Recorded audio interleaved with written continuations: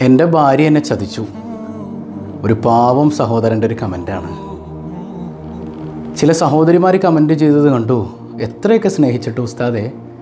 എന്റെ ഹസ്ബൻഡ് മറ്റൊരുത്തിയെ കണ്ടപ്പോൾ അവളുടെ പിന്നാലെ പോയി അവളെ വിവാഹം കഴിച്ചു. അങ്ങനെ ആ മനുഷ്യൻ എന്നെ ചതിച്ചു എന്ന് പറഞ്ഞ ധാരാളം സഹോദരിമാരുണ്ട്.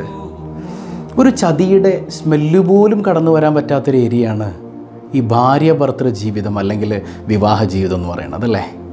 ഒരു ചതിയുടെ ആ ഒരു സ്പെല്ലിങ്ങിന്റെ ഗന്ധം പോലും വരാൻ പാടില്ല. അത്രമേൽ ഹൃദ്യമായി സൂക്ഷിക്കേണ്ട ഏറെ ഏറെ അനുഗ്രഹീതമായ ഒരു ബന്ധമാണ് ഭാര്യ ഭർത്തൃ ബന്ധം എന്ന് പറയുന്നത്. നമ്മൾ ഇന്ന് പറയണ വിഷയം ഒരിക്കലും ചതിക്കാൻ സാധ്യതയില്ലാത്ത ഭാര്യ ഭർത്താക്കന്മാരുടെ അഞ്ച് ലക്ഷണങ്ങളാണ്. ഈ അഞ്ചെണ്ണം ഒരാളിലുണ്ടെങ്കിലേ അവർ ചതിക്കില്ല. ചതിക്കില്ല. സാധ്യതയില്ല എന്നല്ല സെൻ പേഴ്സന്റ് അവർ ചതിക്കാൻ കഴിയില്ല അവർക്ക്. അത്രമേൽ ഹൃദ്യമായിരിക്കും ആ ദാമ്പത്യം എന്നാണ് അപ്പോൾ നിങ്ങളിൽ ഈ അഞ്ചെണ്ണം ഉണ്ടോയെന്ന് നോക്കണം.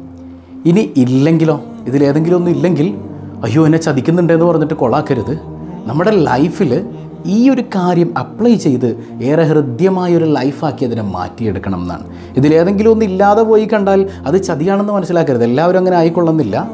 ഇത് പതിയെ പതിയെ പതിയെ പതിയെ ഒരു ചതിവിലേക്ക് പോകുന്നതിന് മുൻപ് അത് മാറ്റിയെടുത്ത് നമ്മുടെ ലൈഫിൽ അപ്ലൈ ചെയ്യാൻ നമ്മൾ ശ്രമിക്കണം എന്നാണ് അപ്പോൾ ഒരിക്കലും ചതിക്കാത്ത ഭാര്യ ഭർത്താക്കന്മാരുടെ അഞ്ചടയാളങ്ങൾ. എവർക്കും റസ വ്ളോഗ്സിലേക്ക് സ്വാഗതം.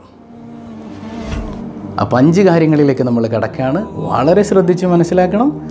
ഒന്നാമത്തേത് പരസ്പരം കാണാതിരിക്കുമ്പോൾ മനസ്സ് വല്ലാതെ വേദനിക്കുക. ഇതൊരിക്കലും ചതിക്കാൻ കഴിയാത്ത ഭാര്യ ഭർത്താക്കന്മാരുടെ മനസ്സാണ്. ഭർത്താവ് അവിടെ ഇല്ല അവൻ ജോലിക്ക് പോയിരിക്കുകയാണ് അല്ലെങ്കിൽ അവൻ പ്രവാസിയാണ്. പക്ഷെ അവൾക്ക് വല്ലാത്ത കൊതിയാണ്. അവളുടെ മനസ്സിങ്ങനെ വിങ്ങാണ്. എന്റെ ഇക്കുവിനെ കാണുന്നില്ലല്ലോ. അല്ലെങ്കിൽ എന്റെ ഇക്കു ഇനി എന്നാണ് പ്രവാസമൊക്കെ അവസാനിപ്പിച്ച് എന്റെ അടുത്തേക്ക് വരിക? അവനിങ്ങനെ അടുത്തുള്ളതുപോലെ ഒരു ഫീൽ അവൻ ദൂരെയാണെങ്കിലും എന്റെ അടുത്ത് എന്റെ ഇക്കുണ്ട് എന്നുള്ളൊരു തോന്നലുണ്ടല്ലോ. ആ തോന്നലിൽ ജീവിക്കുന്ന ഒരു ഭാര്യയ്ക്ക് ഒരിക്കലും അവനെ ചതിക്കാൻ കഴിയില്ല. അതുപോലെ തന്നെ അവന് പ്രവാസ ലോകത്താണ് അവൻ എല്ലാ സാധ്യതകളും മുമ്പിലുണ്ട് അല്ലേ? എല്ലാ ഹറാമുകൾക്കും അവന് പോവാം. എല്ലാ തോന്നിവാസങ്ങൾക്കും അവന് പോവാം. ആരും അവനെ ഫൈൻഡ് ഔട്ട് ചെയ്യില്ല. ആ സമയത്തും എന്റെ പ്രിയപ്പെട്ടവൾ എന്റെ അടുത്തുള്ളതുപോലെ അല്ലേ? അവളുടെ ആ ഒരു ഒരു ഒരു വിളിയില്ലെങ്കിൽ പോലും ഒരു ദിവസം നമുക്ക് വിളിക്കാൻ കഴിഞ്ഞില്ല. എന്നാൽ പോലും അവൾ എന്റെ അടുക്കലുണ്ട് എന്നുള്ളൊരു ബോധ്യമുള്ളൊരു മനുഷ്യനുണ്ടല്ലോ. ഒരിക്കലും പെട്ടുപോയാൽ പോലും ഞാൻ എന്റെ പ്രിയപ്പെട്ടവളെ ചതിക്കുകയാണല്ലോ പടച്ചോനെന്ന് കരുതി അവന് തിരിച്ചു പോരാൻ കഴിയുന്നത്ര ഹൃദ്യമായൊരു മനസ്സ് ലഭിക്കുന്നതാണ്. അപ്പോൾ ഒരിക്കലും അടുത്തുള്ളതുപോലെ ഫീൽ ചെയ്യുന്ന ഭാര്യ ഭർത്താക്കന്മാർക്ക് ചതിക്കാൻ കഴിയില്ല. അപ്പോൾ നമുക്കങ്ങനെ ഇല്ലെങ്കിൽ അങ്ങനെ ഉണ്ടാക്കിയെടുക്കണം. ഭാര്യയും ഭർത്താവും അവരൊന്ന് ഭാര്യ വീട്ടിൽ പോയി നിൽക്കുമ്പോൾ നമ്മളെങ്ങനെയാണ് ഓ ഇവിടെ പോയി. സന്തോഷമായി സമാധാനമായി ഒരു നാലഞ്ച് ദിവസം മനുഷ്യൻ സമാധാനത്തോടെ നിൽക്കട്ടെ അങ്ങനെയല്ല. അവൾ പോയാലും വല്ലാതെ മിസ് ചെയ്യുക അടുക്കള പണി എടുപ്പിക്കാനല്ല. വല്ലാതെ മിസ് ചെയ്യുക എങ്ങനെ?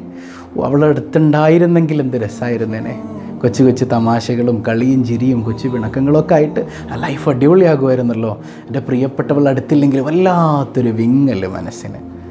അല്ലേ? അതുപോലെ തന്നെ പ്രിയപ്പെട്ടവൻ അവൾ അവിടെ വീട്ടിൽ പോയി നിൽക്കുകയാണെങ്കിലും സംഭവം വാശിയൊക്കെ പിടിച്ച് വീട്ടിൽ പോയതാണ്. ഞാൻ പോകും എന്റെ വീട്ടിൽ എത്ര നാളായി പോയിട്ട്? പക്ഷേ വീട്ടിലേക്ക് ചെല്ലുമ്പോഴുണ്ട് അവളുടെ മനസ്സിൽ മുഴുവൻ ഇവനാണ്. എന്റെ ഇക്കുവിനെ വിട്ടിട്ടാണല്ലോ ഞാൻ പോകുന്നത്. ഇക്കു എന്തെടുക്കായിരിക്കും? ഇക്കു എന്റെ അടുത്തുള്ളത് പോലെ. ഇങ്ങനൊരു മനസ്സുള്ള ഭാര്യ ഭർത്താക്കന്മാർ അവർക്കൊരിക്കലും ചതിക്കാൻ കഴിയില്ല. രണ്ടാമത്തേത് പരസ്പരം ചെയ്ത ഗുണങ്ങൾ എടുത്തു പറയാത്ത ഭാര്യ ഭർത്താക്കന്മാർ ഒരിക്കലും ചതിക്കാൻ കഴിയാത്തവരാണ്. എടുത്തു പറയുന്നവരുണ്ട്. ആ അതങ്ങനെ? എന്തെങ്കിലുമൊക്കെ ഒരു പിണക്കുണ്ടായി കഴിഞ്ഞാൽ നിങ്ങൾക്ക് ഞാനല്ല അത് ചെയ്തു തന്നത്? നിങ്ങൾക്ക് രാവിലെ എണീറ്റപ്പോൾ മുതൽ ഞാനാണെല്ലാം ചെയ്തു തരുന്നത്. നിങ്ങൾ ഡ്രസ്സ് അലക്കണം അങ്ങനെയാണ് ഇങ്ങനെയാണെന്ന് ഓരോന്ന് ഓരോന്ന് പറയാം. എന്തെങ്കിലുമൊക്കെ വിഷയം പറഞ്ഞ് തെറ്റിക്കഴിയുമ്പോൾ എടുത്ത് താൻ ചെയ്ത ഗുണങ്ങളൊക്കെ എടുത്ത് പറയാം. അതുപോലെ തന്നെ ഭർത്താവ് ഞാൻ നിനക്ക് ഡ്രസ്സ് വാങ്ങി തന്നില്ലേ? ഞാൻ നിനക്ക് അത് വാങ്ങി തന്നില്ലേ? നിന്റെ വീട്ടുകാരിക്ക് ഞാൻ ഇത് കൊടുത്തില്ലേ? ഇങ്ങനെ നന്മകൾ ചെയ്തത് എടുത്തു പറയാം. തിന്നത് ഛർദ്ദിക്കുന്നൊരു സ്വഭാവം ഉണ്ടല്ലോ ഇങ്ങനെയുള്ള മനുഷ്യന്മാർ ചതിക്കുമെന്നാണ്. അപ്പോൾ നമ്മൾ അത്തരം സ്വഭാവമില്ലാത്ത ആളുകളായി നമ്മൾ മാറണം. മനസ്സിലാവുന്നുണ്ടോ? അത്തരം സ്വഭാവങ്ങൾ ഇല്ലാതായി കഴിഞ്ഞാൽ അത് ഒരു ചതിവിന് സാധ്യതയില്ലാത്ത മനസ്സിന്റെ ഉടമകളുടെ ഏറെ ഹൃദ്യമായൊരു സ്വഭാവമാണ്. അത് സൈക്കോളജിക്കലി അങ്ങനെ തന്നെയാണ്. നമ്മൾ ചെയ്ത് കാരണം നമ്മുടെ ഒരു ഉത്തരവാദിത്തമായി നമ്മൾ ഏറ്റെടുത്ത കാര്യമാണ് നമ്മുടെ പ്രിയപ്പെട്ടവളെ നോക്കുക നമ്മുടെ മക്കളെ സംരക്ഷിക്കുക. ഇല്ലേ? അതുപോലെ തന്നെ പ്രിയപ്പെട്ടവൻ എന്തെങ്കിലും ഒന്ന് കൊടുക്കുക എന്ന് പറയുന്നത് നമ്മൾ മനസ്സാ ചെയ്യുന്നൊരു കാര്യമാണ്. ആരെങ്കിലും നമ്മൾ നിർബന്ധിച്ചിട്ടോ ഫോഴ്സ് ചെയ്തിട്ടോ ഒന്നുമല്ല. പക്ഷേ തെറ്റിക്കഴിയുമ്പോൾ ഇതൊക്കെ എടുത്ത് വിളിച്ചു പറയാമെന്ന് പറയുന്നത് എത്രമേൽ നാണം കെട്ടൊരു കാര്യമാണ്. അപ്പോൾ ഒരിക്കലും ചതിക്കാത്ത ഭാര്യ ഭർത്താക്കന്മാർ ഇങ്ങനെ പറയില്ല എന്നാണ്. അപ്പോൾ നമ്മുടെ ലൈഫിൽ അങ്ങനെ പറഞ്ഞു പോയിട്ടുണ്ടാകും ചില ആളുകളൊക്കെ. അത് ചതിക്കുന്നൊന്നും വിചാരിച്ചിട്ടല്ല. പക്ഷേ ഇത് പതിവായി എപ്പോഴും ഇങ്ങനെ ചെയ്യുന്ന ആ ഒരു സ്വഭാവം അറിഞ്ഞുകൊണ്ട് വരുന്ന ആളുകളുണ്ട്. അത് നമ്മളിൽ ഉണ്ടാകാൻ പാടില്ല എന്നാണ്. അപ്പോൾ അങ്ങനെയൊക്കെ സംഭവിച്ചു പോയുള്ളവരുണ്ടെങ്കിൽ അതിനി ആവർത്തിക്കാതിരിക്കുക വിളിച്ച് പറയാതിരിക്കുക. ഒരാൾ പറയുമ്പോഴേക്ക് അപ്പുറത്തെ ആൾ ആ മറ്റേ കെട്ടിയവനെ അവിടെ നിന്ന് തുടങ്ങും. അപ്പോൾ ഇവിടെ നിന്ന് ഞാനും നിങ്ങൾക്ക് പുട്ടുണ്ടാക്കി ഞാൻ നിങ്ങൾക്ക് ഇഷ്ടമുള്ള കടല ഉണ്ടാക്കി ഞാൻ നിങ്ങൾക്ക് പപ്പടം പൊരിച്ചു ഊഹ് അങ്ങനെ അങ്ങോട്ട് പറഞ്ഞു. നിങ്ങളുടെ പിള്ളേരെ ഞാൻ നോക്കണം. പറഞ്ഞിട്ടാത്തൊന്നും തോന്നി ഇവക്കൊരു ബന്ധം അതിലില്ലാതെ. അപ്പോൾ അങ്ങനെ ആകാൻ പാടില്ല. രണ്ടുപേരും ഹൃദ്യമായ ബന്ധത്തിലായിത്തീരുക അപ്പോൾ രണ്ടാമത്തേത് അതാണ്. മൂന്നാമത്തേത് പരസ്പരം ഭാര്യയും ഭർത്താവും തന്റെ ഇണയുടെ നെഗറ്റീവ് പറയാത്തവരാവുക മറ്റുള്ളവരോട്. ഭാര്യയും ഭർത്താവും ഇപ്പോൾ ചോദിക്കുകയാണ് എടി എങ്ങനെയുണ്ട്? കെട്ടിയവൻ എങ്ങനെയുണ്ട്? കുഴപ്പമില്ല. അങ്ങനെയൊക്കെ അങ്ങോട്ട് പോവാണ് പോണിടത്തോളം അങ്ങോട്ട് പോട്ടെ. അങ്ങനെയല്ല അങ്ങനെയല്ല. എന്തെല്ലാം കുറവ് കുറവനുണ്ടെങ്കിലും അവൾ പറയേണ്ടത് അലഹമില്ല നല്ല ഹയറായി പോകുന്നു. അലഹമില്ല അലഹമില്ല ചിലപ്പോൾ നമുക്ക് വീട്ടുകാരോട് ചില കാര്യങ്ങളൊക്കെ തുറന്നു പറയേണ്ടി വന്നേക്കാം ഇത് അതിനെക്കുറിച്ചല്ല. നാട്ടുകാരോട് മുഴുവൻ കുറ്റം പറഞ്ഞു നടക്കുന്ന ആളുകളാകാൻ പാടില്ല. അതുപോലെ തന്നെ എങ്ങനെയുണ്ടാ? പെണ്ണെങ്ങനെയുണ്ട്? ഇതൊരു ഒരു പടു. അത് അടുക്കളയിൽ തന്നെ ഇരുപത്തിനാല് മണിക്കൂറും. അതിനങ്ങ് ഒരു കഥയില്ല എന്റെ അടുത്തോട്ടൊന്നും വരില്ല അതുപോലെ തന്നെ എന്റെ ഒരു കാര്യത്തിന് ഒരു സപ്പോർട്ടില്ല അങ്ങനെയാണ് ഇങ്ങനെയാണ് ഫുൾ നെഗറ്റീവ് അടിക്കുക. അങ്ങനെ പരസ്പരം നാട്ടുകാരോട് മുഴുവൻ നിങ്ങളുടെ ഇണയെ കുറ്റം പറയുന്നവരാണ് നിങ്ങളെങ്കിൽ ഉറപ്പായിട്ട് നിങ്ങൾ ചതിക്കുന്നവരല്ലേ? നിങ്ങൾ എന്തായാലും വേറൊരു മോശം ബന്ധത്തിൽ പോയി ചാടാൻ സാധ്യതയേറെയാണ്. പക്ഷേ ഇണയെക്കുറിച്ച് നല്ലത് പറഞ്ഞു കൊടുക്കുന്ന ആളുകൾ അവരാണ് ഒരിക്കലും ചതിക്കാത്ത ഭാര്യ ഭർത്താക്കന്മാർ. എന്തെല്ലാം നല്ലത് പറയാം? പക്ഷേ നല്ലത് പറയുമ്പോൾ ശ്രദ്ധിക്കണം കേട്ടോ. ഇപ്പോൾ നമ്മൾ പറയാണ് "എ- എടി എങ്ങനെയുണ്ട്? കെട്ടിയോൻ എങ്ങനെയുണ്ട്? അത് ഇക്കു ഇക്കു എനിക്ക് രാവിലെ പല്ലേപ്പിച്ച് തരും. ഇക്കു എനിക്ക് രാവിലെ ഉമ്മ തരും. ഇക്കു യാത്ര പോണതിന് മുമ്പ് എന്നെ കെട്ടിപ്പിടിച്ച് നെഞ്ചോട് ചേർക്കും. ഇക്കു എനിക്ക് വേണ്ടതൊക്കെ വാങ്ങിത്തരും. ഇക്കു എനിക്ക് രാവിലെ ബ്രേക്ക്ഫാസ്റ്റ് ഉണ്ടാക്കി തരും. ഇക്കു എനിക്ക് വാരിത്തരും. ഇക്കു എന്നെ ഊട്ടി വിടും. ഇക്കു എനിക്ക് ഡ്രസ്സ് ഇട്ട് തരും.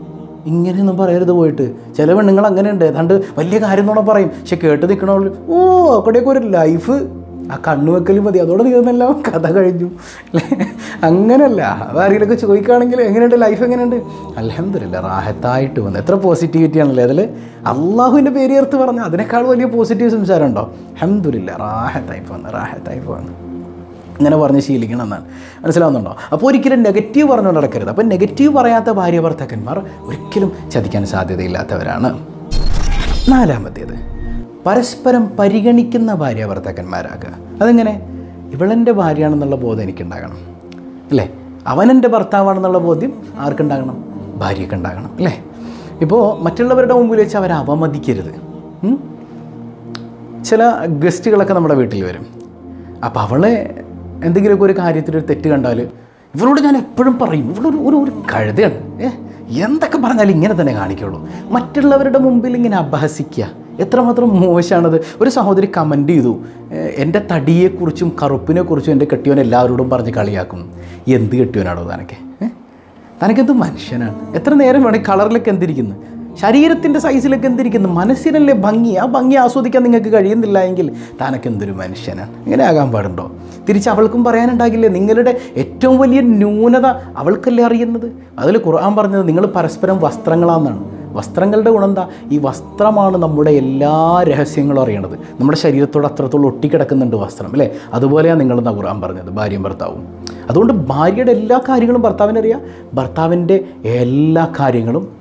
ഒരുപക്ഷെ ഭർത്താവിന് ഭാര്യയെക്കുറിച്ച് അറിയുന്നതിനേക്കാളേറെ ഭർത്താവിനെ കുറിച്ച് ഭാര്യയ്ക്ക് അറിയാൻ പറ്റും. അവളെങ്ങാനും നിങ്ങളെക്കുറിച്ച് തുറന്നു പറഞ്ഞാലുള്ള അവസ്ഥ നിങ്ങൾ ആലോചിച്ച് നോക്കിയാൽ എത്ര മോശമായിരിക്കും അത് അല്ലേ?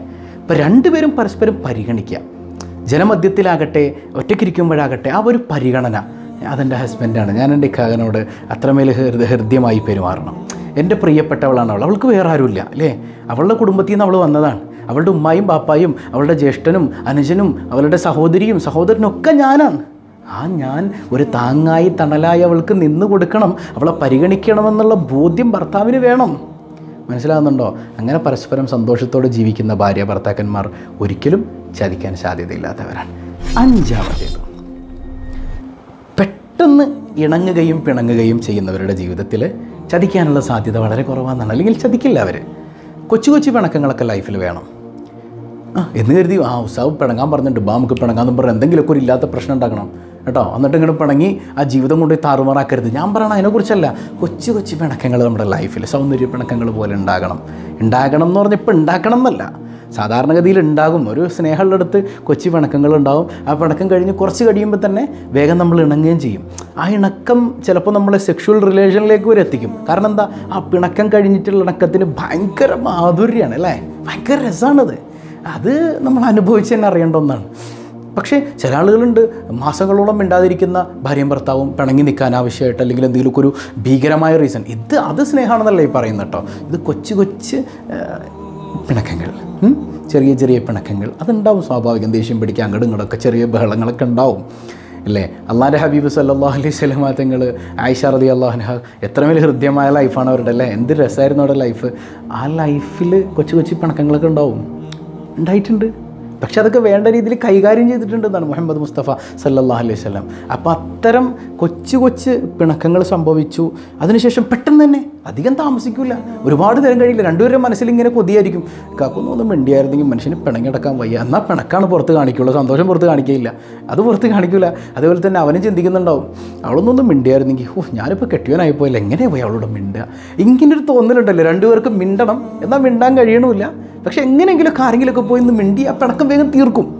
മനസ്സിലാകുന്നുണ്ടോ ഇങ്ങനെയുള്ള ഈ ഒരു കൊച്ചു കൊച്ചു പിണക്കവും ഉണക്കവും അങ്ങനെ പിണങ്ങി ഇണങ്ങി ജീവിക്കുന്ന ആളുകളുടെ ലൈഫിൽ ചതിക്കാനുള്ള സാധ്യത വളരെ കുറവാണെന്നാണ്. അപ്പോൾ ഈ അഞ്ച് കാര്യങ്ങൾ. ലൈഫിൽ ഇല്ലാത്തവരെ നിങ്ങളൊന്ന് അപ്ലൈ ചെയ്ത് നോക്കുക ലൈഫ് എന്ത് രസമായിരിക്കും എന്നറിയോ? ഭയങ്കര ഹാപ്പിനെസ് നിങ്ങൾക്ക് അനുഭവിക്കാൻ പറ്റും. വേറെ എവിടെ നിങ്ങൾ പോകണ്ട വേറെ ഒരു സന്തോഷത്തിന് നിങ്ങൾ പോകണ്ട. നിങ്ങളുടെ പ്രിയപ്പെട്ടവരോടൊപ്പം പ്രിയപ്പെട്ടവളോടൊപ്പം അല്ലെങ്കിൽ പ്രിയപ്പെട്ടവനോടൊപ്പം നിങ്ങൾ ഇങ്ങനെയൊന്ന് ലൈഫ് എൻജോയ് ചെയ്ത് നോക്കൂ. അവിടെ ദൈവികമായ സംതൃപ്തി ഉണ്ടാകും. അള്ളാഹുവിന്റെ ബറക്കത്തിറങ്ങും അപ്പം അതിൽ പിന്നെ മാനസിക സന്തോഷത്തിന് അതിലപ്പുറം നമുക്ക് എന്താ വേണ്ടത്? ഈ അഞ്ച് അഞ്ച് ഗുണങ്ങളുള്ളവർ ഒരിക്കലും ചതിക്കില്ല എന്നാണ്. ലൈഫിൽ അപ്ലൈ ചെയ്യൂ. ഇത് ഇത് വെറും അഭിനയമാക്കി മാറ്റാതെ ഹൃദയത്തിൽ നിന്ന് ഇതൊക്കെ ഉണ്ടാകട്ടെ. അള്ളാഹു ഹൃദ്യമായ ലൈഫ് നൽകി നമ്മെ അനുഗ്രഹിക്കുമാറാകട്ടെ. അസ്സലാമു അലൈക്കും വറഹ്മത്തുള്ളാഹി വബറകാതുഹു.